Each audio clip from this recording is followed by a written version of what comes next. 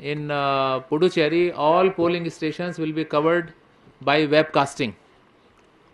This is uh, a very good feature in uh, Pondicherry to keep an eye on. Uh, you know, people who would, who may indulge in malpractices at polling station level.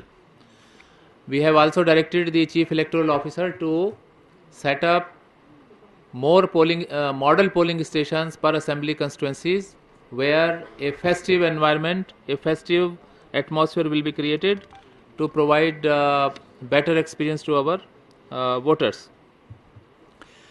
This year, uh, Commission is going to introduce uh, three uh, VVPAT in three constituencies.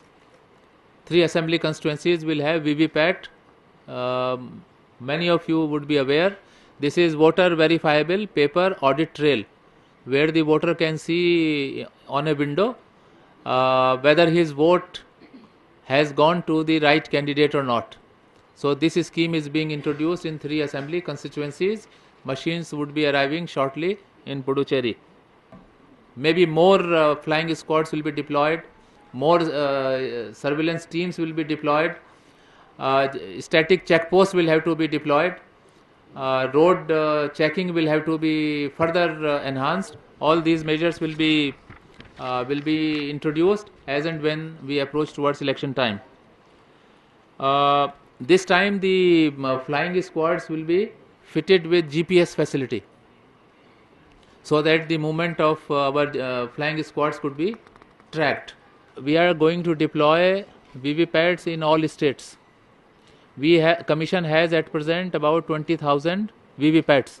So they are being distributed more or less in a proportion uh, in a proportion to all the states, and therefore uh, we are under uh, under preparation that increasingly we will deploy more and more VVPATs in upcoming elections.